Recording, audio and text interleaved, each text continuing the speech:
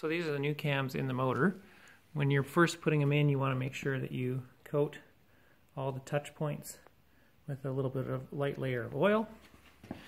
You can see that how they're sitting in the bike right now, the lines are not correct. And so I'm going to have to move both camshafts uh, one tooth clockwise.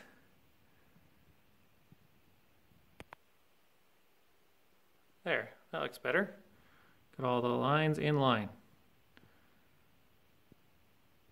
So I'm going to bolt the caps down and then check it with the feeler gauges. Okay, so when tightening these bolts back up, you want to make sure you go inside,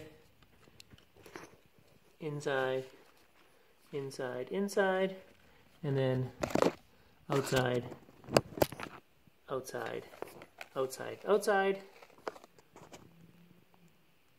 Reverse of how you undid them.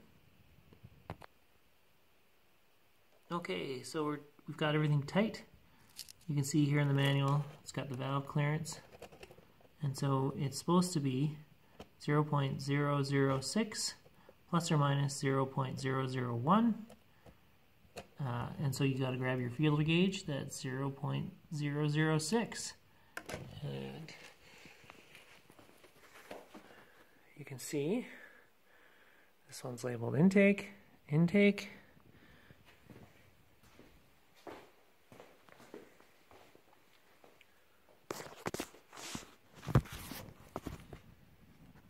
And so you're going to be sticking it in there. I'm not going to try and get that on camera, but you just slide it in and if it slides in too loose, then you go up a size and see if the 7 will go in, and then go up a size after that and see if the 8 will go in. And if you can't get it in, that means you got to go to a thinner shim.